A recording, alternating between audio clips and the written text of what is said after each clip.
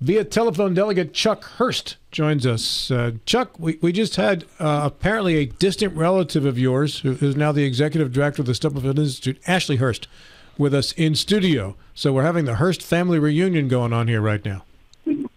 It's been a while since we've had one of them. Actually, this is the first one I've been invited to. That's right. And we, and to be honest, Rob, we kind of invited ourselves. That's true. We're those guests who show up late and stay late. Oh, that's okay. They're, they're quite often they're the fun ones. Yeah. Yeah. Well, sure. They don't let you clean up in time, though. Uh, Chuck, will the first, biggest question is: Will the governor be on time for his speech tonight? That's my biggest question. I'll I'll speculate he'll be on time or fairly close. How's Oh, that? I like that. I like that.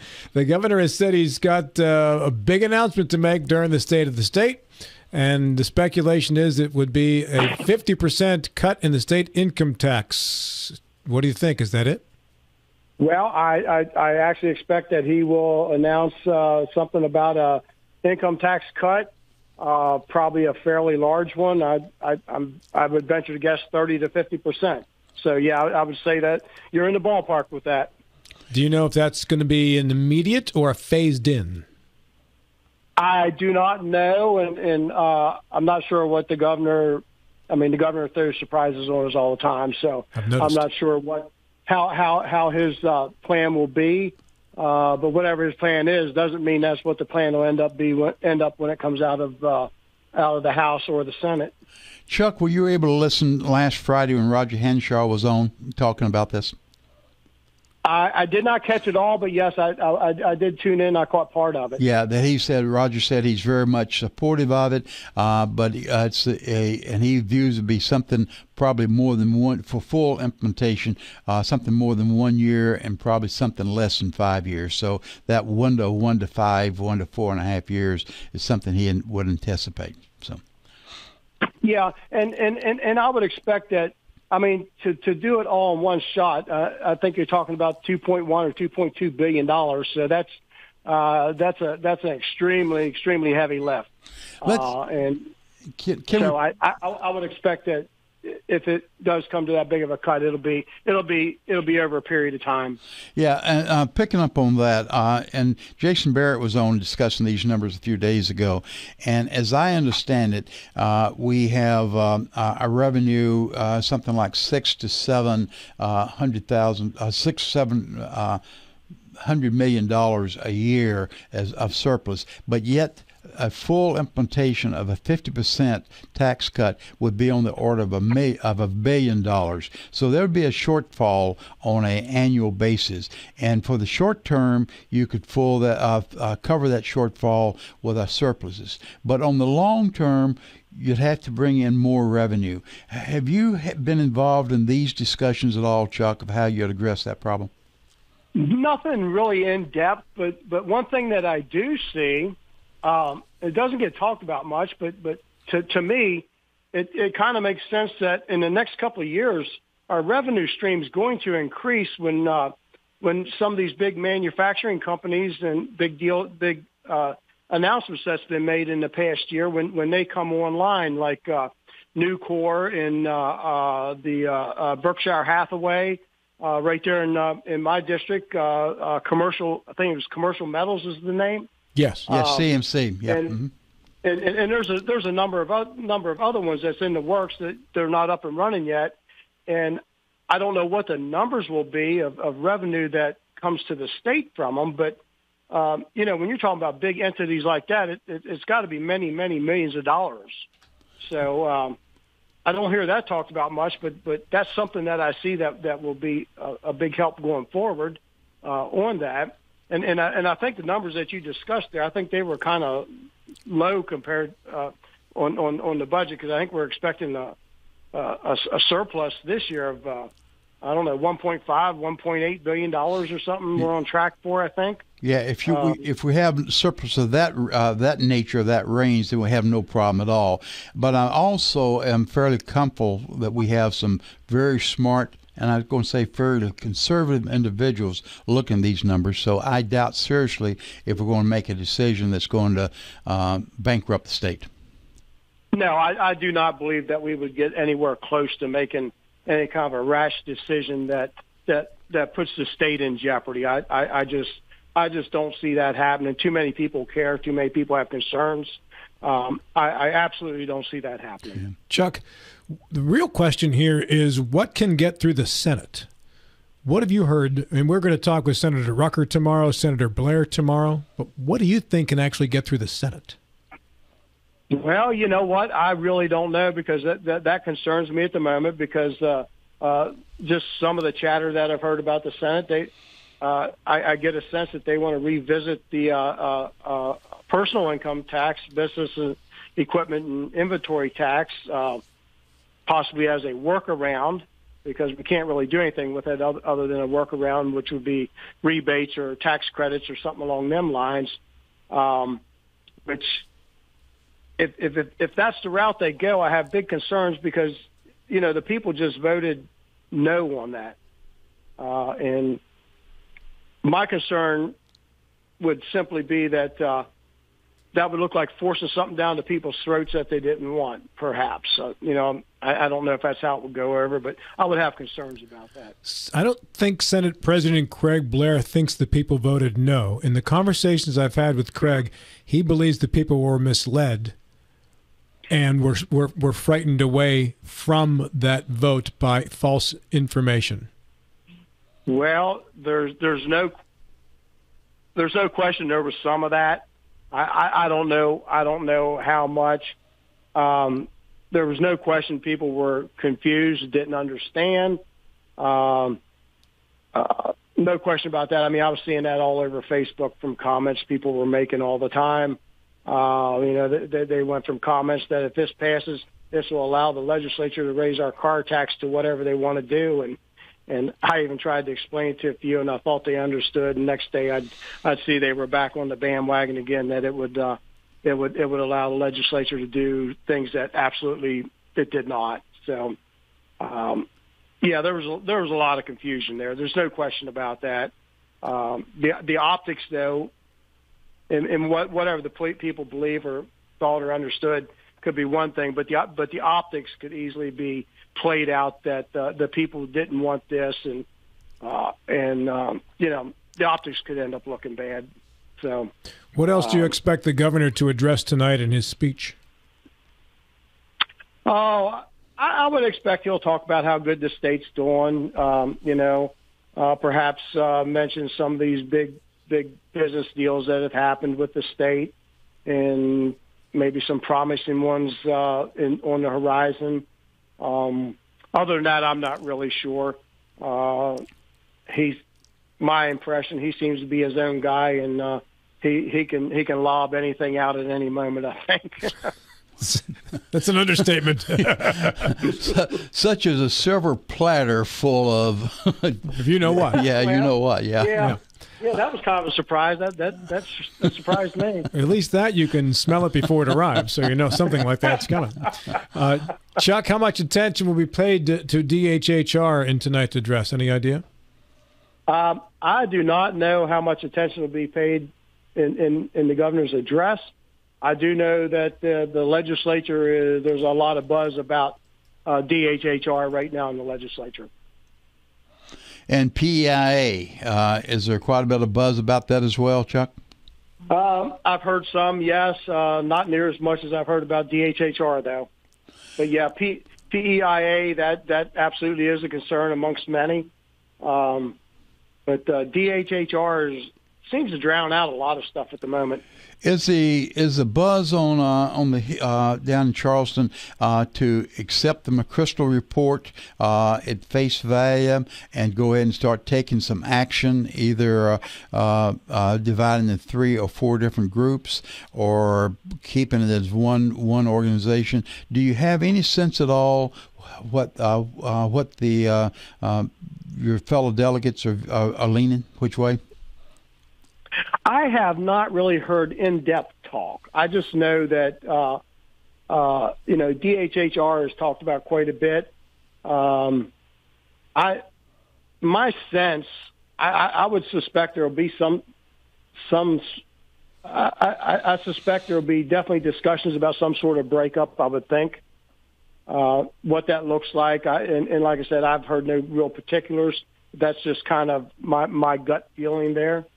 Uh, but uh, I, I think, and, and and I don't know a lot about the DHHR issue, but uh, I, I do know it's an awful big agency, awful lot of money, and um, uh, seems to be very, very, very hard to manage. And and and and and just my personal thoughts are that when something gets that big, it becomes easy for the different factions or the different parts of the agency to squirrel money away or uh, maybe squander money even. Um, I'm not quite sure, and I'm not making accusations that they do that, but um, you know, I, I some of these big things I kind of look at them along the lines of our, our federal government, and uh, it just seems like things get so big that they're just they become totally unmanageable, at least in any normal sense of man, being able to manage it. Have you had an opportunity to read the McChrystal report in terms of DHHR? I have not. Okay. Chuck, uh, uh, Speaker Hanshaw has made some changes and some promotions, and one of those promotions involved you to a chairmanship position. Yes, I, I am now chairman of uh, Natural Resources Committee. Um, in fact, uh, I've only got a couple of minutes after this phone call is done, and I got to be in chairmanship training. nice. what? What? Have you been to one of those classes yet? What's that like? No, I have not. So, so it, it, that that's kind of all new to me. All right, here's how it works: the people you agree with, you let speak. The people you don't agree with, you tell them to shut up. Uh, well, I kind of understand a little bit of that. so, so, so, so, Rob is a natural to be a head of chair, a chair of one of the committees. Quiet over there, Stubblefield. You're out of order. Rob, Rob, Rob, would, Rob would be great down here. I think we need to get him moved to West Virginia. We'll get him in office.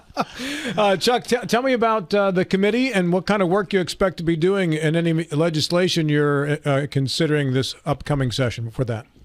Uh, for natural resources? Yes, sir. Okay. Uh, no, nothing really big that I'm aware of at the moment.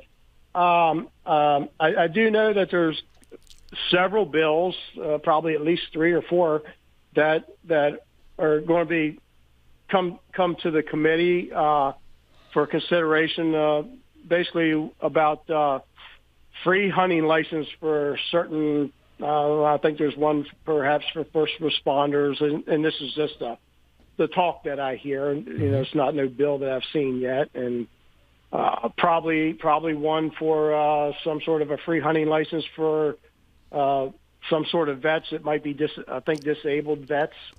Um, uh, other than that, I'm not really aware of anything else. You know, nothing else really on my radar at the moment. But that after today, that's apt to change. There will be probably 500 or so bills introduced today mm-hmm. uh, when we go into session. I got to ask you the uh, the Brad Null question here, and that is regarding a rifle range in uh, in the county. And I understand you probably have an ally with the new delegate Mike Hornby down there now about this.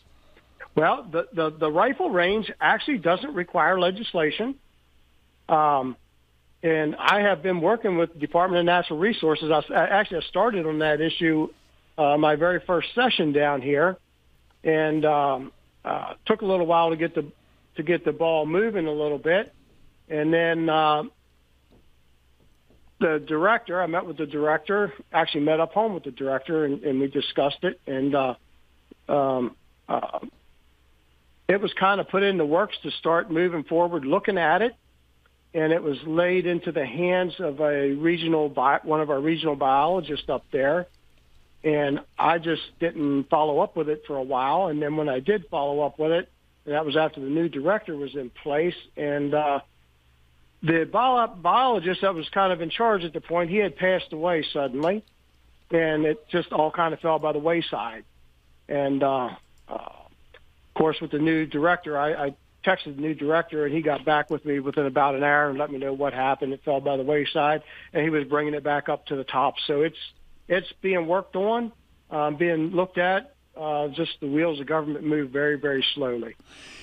Chuck, to get a sense of the uh, domain or the reach of the natural resources, I assume water and water resources fall under your committee. Uh, how about natural gas? What about the sl- uh, slug pits from the, the old from mining operations? Do all of these fall under natural resources? No, not really. I do not believe so. They they end up uh, in in through other committees. There's uh, um, I, and and I forget the names of them, but I, I, I was on um, I was on the was on the one committee, and in interims, I was also in on the joint committee for water resources. I forget what the actual committee was called in the House, but the joint committee was water resources. Uh, a lot of that, a lot of that stuff with water and everything, the old mines and everything, uh, actually falls into that committee. Okay. Chuck, one of your committees I see is jails and prisons. Yesterday, we spoke with Berkeley County Council President Jim Whitaker and the County Administrator Alan Davis, and they spoke hopefully of the state potentially taking over the jail fees bills, which for Berkeley County are right in that $3 million a year neighborhood. Any chance that happens? Um, I honestly don't know. Um, that was actually talked about when, uh, uh, as part of dealing with uh, purple per, personal property tax, if if that amendment had passed, but uh, but that was you know something that that was looked that was being considered to help make counties whole with the revenue that they were going to lose. So, um, it I'm, I'm sure it's a topic, it's a consideration that's going on, and, and uh, it may be something that we that we talk about or or uh, look at in that committee. But that committee has not actually started up yet, so I, I really don't know much uh, uh, about that actually, as far as whether the committee's looking at it or how deeply they're, they're looking at that issue. Chuck, over the years, home rule for the counties uh, has been mentioned or discussed. Is it still? Do you hear any buzz about that uh, in Charleston now? Uh, since I've been in the legislature, just occasionally you hear just a a little blurb here and there about it. Uh, I it doesn't it doesn't seem to be a, a big issue at the moment. Uh, I'll put it that way. I, I mean, I've heard it mentioned before, but not not a lot of discussion that that I've been privy to. You're also on workforce development, and I think the state has been pretty progressive in terms of workforce development and ties in with community colleges and uh, technical colleges and such along the way here. Chuck, what do you see in 2023 legislation wise to further along workforce development in West Virginia, which continues to attract these major employers and is going to need skilled people to work at these places? Well, one one thing uh, I was just in committee yesterday uh, at my last education committee, the Joint Education Committee, and there's uh, uh, dual enrollment, uh, which has I, I guess has to do with uh, while you're in high school, you can be taking some of these courses so that when, when once you get out, uh, you go to college then and you get your degree much much faster and ch- and less uh, expensively too. Yes, and less expensive, absolutely. But that's in place now, is it not, Chuck? I know both Shepherd and Blue Ridge have this program with uh, the high schools in Berkeley and Jefferson. I think also Morgan County. Well, if, if it's if it's in place or being used some, apparently it needs some some tweaking. I, I believe that uh, from the presentation that we got yesterday, uh, or, or there's some big, possibly substantial changes being looked at to to make it better. Yeah, I uh, I don't know. Yes, I don't know, but I know it's very active. Uh, I'm not sure how well it's been funded uh, because they continually come to other other funding sources such as the East Western Foundation and other places asking for funding on an annual basis. And, and, and, that may be that may have been the gist of the committee why why we were hearing all that information because it may have something to do with more, perhaps more funding. I'm I'm not sure. I don't, you know I don't want to say that it did, but uh, but that very well may be what it's about. Chuck, you have one of the prized seats on the finance committee uh, this session, and that's one of the places where a lot of delegates uh, really want to be on finance. Uh, tell me, in, in, regards to to your role there, uh, what influence do you have in those meetings, uh, and uh, what would you like to see the committee aggressively pursue? Well, my influence would be one of, I guess, about 25. Mm-hmm. Uh, so, um, you know, uh, my influence would literally be, you know, the one voice. Uh, you know, can can would it be, you know, I guess it would boil down to uh, if I have a, a, a belief or a thought, can I convince others to the, that uh, that my idea is a good idea? Uh, so we'll just have to see how my influence pans out. Uh, Uh, other than that, I'm really not quite sure that I have any other influence. Do you think the approach that the state is taking towards tax cuts is the appropriate approach? In other words, the governor may propose a 50%, 30 to 50% tax, state income tax cut. Or would you really like to see a whole major overhaul of the entire tax system in West Virginia? Sort of rebuild the robot? Oh boy, wouldn't that wouldn't that be great to do that? I, I mean, I don't, I don't, I don't think you'd ever get a consensus on on what you've done there uh, on a on a complete overhaul. But but yeah, I I, I think that would be an would be an awesome uh, thing. But uh, I, I I don't see that coming into play.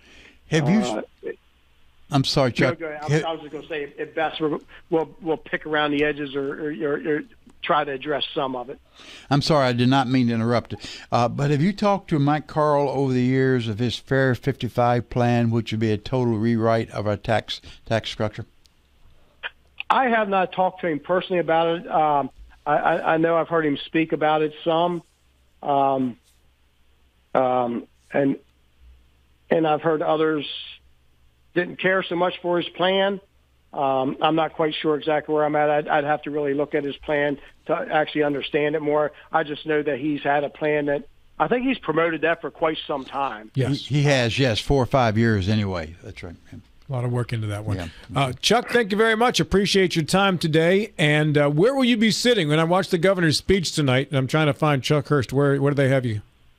I will be uh, if, if you're from if you're looking at the speaker from the chamber. I would be on the right hand side. I would expect nothing less. uh, probably just two rows from the back, about the middle there. I got I got moved back two rows. I don't know if that. Some tell me that's a good thing. Others kind of think like, well, what'd you do to get moved further away? so, I'm, not, I'm not quite sure what that means yet. So what, what you're telling me, Chuck, is you're, you're to the right of the governor, is what you're telling me. Now I would be to the left of the governor. Are you sure? I would be, the, yes, I, would be, I would be out in front to the left of the governor. All right. Very good. Chuck, thanks so much for your time this morning. As always, a pleasure, sir. Okay, thank Thank you guys. Best of luck, Chuck. Have a good day. You too. Bye bye.